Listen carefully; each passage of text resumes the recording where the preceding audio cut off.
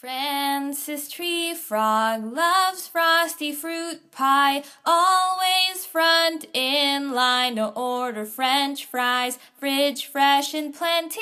He frowns if it's empty, but his friends prefer sugar-free flies.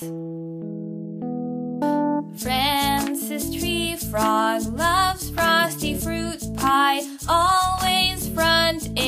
line to order French fries, fridge fresh and plenty.